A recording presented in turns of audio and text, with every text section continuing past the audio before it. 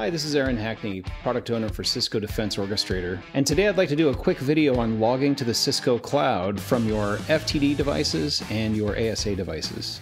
So let's start by taking a look at our topology.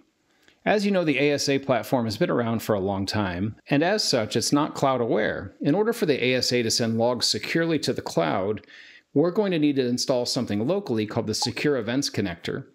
Now, the Secure Events Connector is just a Docker container that we make available to you either through a VM image that we supply to you, where you just install it under VMware, or you can run your own Ubuntu installation and simply install Docker in the Docker containers and run them natively in your own Docker ecosystem. Either way, the SEC is involved, and what happens is it takes the logs locally from your ASA, and that could be across your network in clear text, UDP, and it can take those across your local LAN to the SEC and then the SEC is going to package that up in a TLS tunnel and send that up to the Cisco cloud to a service we call SSX or the Security Services Exchange. Now, the SSX is a SaaS that takes all of your events from your ASAs and your other devices and makes them available on the Cisco Events Bus. And so it makes services like XDR or Cisco Defense Orchestrator or any number of other Cisco hosted services to have access to your eventing data to provide additional value. Once that hits the events bus, Cisco Defense Orchestrator stores that information for you in a service that we call Security Analytics and Logging. So again, the packet flow goes from the ASA to the SEC to the SSX, and finally landing up inside of CDO, where it's available to you through our event viewer. Now, the FTD is a lot newer platform, as you know, and the FTD is cloud aware. The FTD is fully aware of what Cisco Defense Orchestrator is, it takes the telemetry that it generates from the snort engine inside of the FTD and natively sends it over to the SSX, which also makes that information available on the events bus. And that's just a real brief, simplified overview of how the events get from your Cisco secure firewalls to the Cisco cloud. Now let's take a look at the individual configuration pieces that might be of interest to us. Let's start with the FTD. The first place you're going to check out your secure cloud logging services will be under Tools and Services and Firewall Management Center. And down here on the right hand side, you're going to see a little gear icon that says Cisco Cloud Events. Now, this is specifically for FTD. And what this allows us to do is configure what we're actually going to send to the Cisco Secure Cloud. And then we have to determine whether we wanted to log all connection events or if we only want to log connection events related to security events. In other words, when there's an IPS event that happens, uh, then log the security events only, or uh, as most folks do, we probably want to log all events. So we'll just move that radio button and make sure that it's over here at all events. So that determines what gets logged to the cloud. Now, we're not done. If that was the only thing that I turned on, I wouldn't be seeing any events yet either. We need to make sure that inside of our security policies that we have logging turned on or the specific access control policy rules that we'd like to capture. So what you'll see here is I've just got two rules in this particular very simple access control policy, one set to trust, one set to allow. Uh, specifically, I'm going to look at this trust event, and you'll notice that I've got this little uh, icon of a, of a paper note, which basically says, hey, you've turned logging on for this particular event. If it was not turned on, when you get inside of your rule, we'd go over here to the logging option inside of the actual rule. And then we would select where we want them to be logged at the beginning of the connection, at the end of the connection, etc. Right. And again, uh, this is sort of the default setting. Nothing is being logged on any rule by default. So you're going to need to go into each rule and enable the logging. Best practice really is just to log at the end of the connection, unless you're looking at a block rule. There is no end of connection with a block rule. Now, for blocked rules, for example, my default policy here at the bottom shows the access control policy default to block all traffic. And again, by default, you're probably not logging that. So again, this is something you might want to do to make sure you're capturing the, the packets that you've actually blocked from your firewall.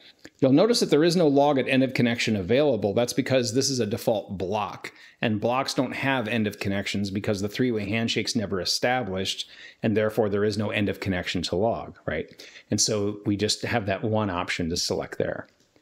So now that we know we've, we've configured what we want to log, now that that's deployed, let's go ahead and run some traffic through our firewall and see if we can see the logs coming across in, in real time.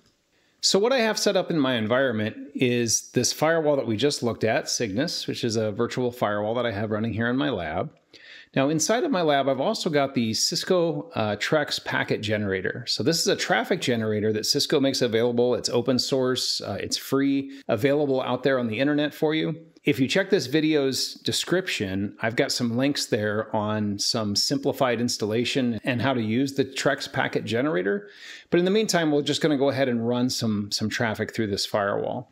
So I'm going to go over to CDO. I'm going to go to the Analytics tab, go to Event Logging, and I'm going to click on the Live button.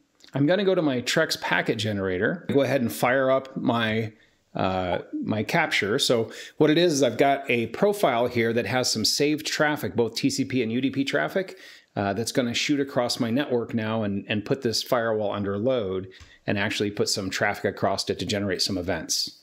So here we see events being sent across, sent and received.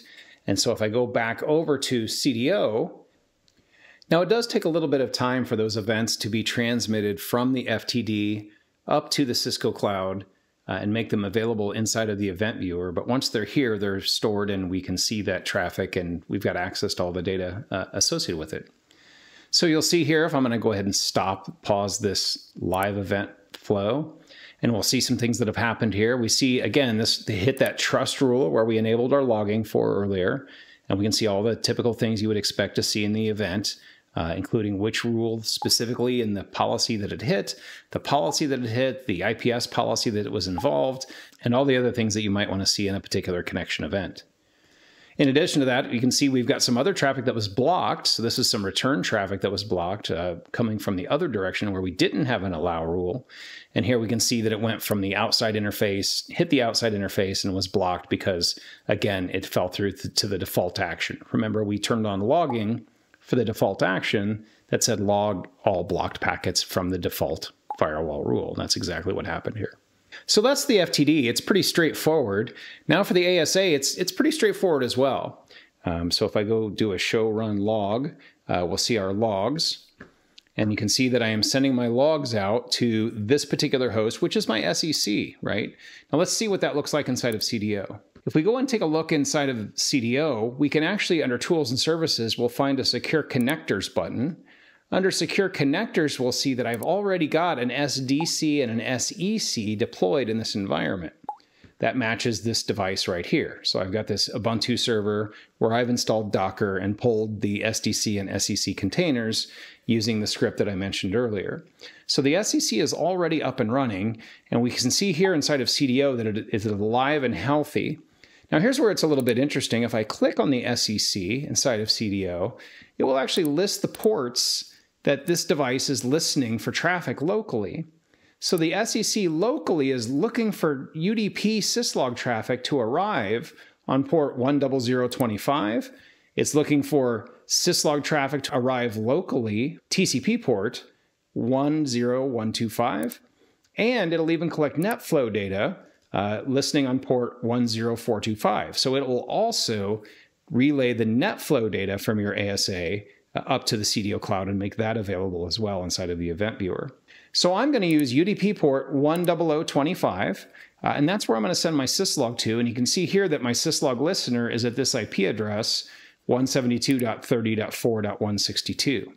And we can see here that I'm already sending my syslogs out here to 172.30.4.162 on protocol 17, which is UDP, uh, and port 10025. Well, what, what are we sending to the SEC? What syslogs? Well, that's what the line above it is for. Logging trap tells us what logging level that we want to send to the logging host, in this case, uh, out here on this IP address and port.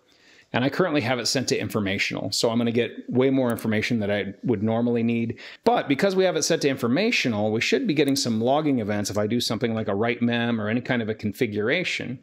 So we can actually send some traffic using Packet Tracer, or we can just do an operation like write mem. And we should see up inside of the CDO cloud, if I go back to analytics and event logging, I'm going to set my filter to only show ASA events and I'm going to put it in live mode instead of historical.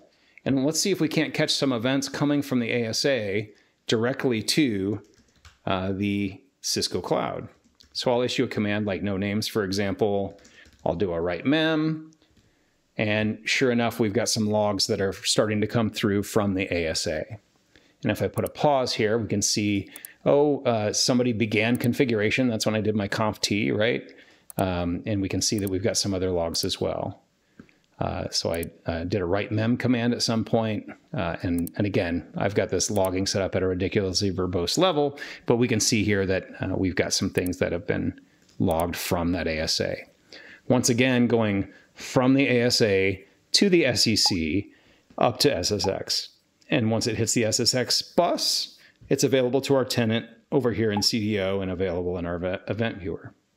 So that's just a real quick look at the architecture overview of CDO and how events get from your devices on premises, no matter where they live, uh, whether it's virtual, physical, uh, private cloud, public cloud, it all works the same. The, the events get to the SSX service once it hits the SSX service, those events are available to the Cisco data bus, in which point they are consumed by CDO, XDR, or whatever service you're using in the Cisco security platform. That's it for this quick video. Thanks for tuning in. Don't forget to like and subscribe, and we'll see you next time.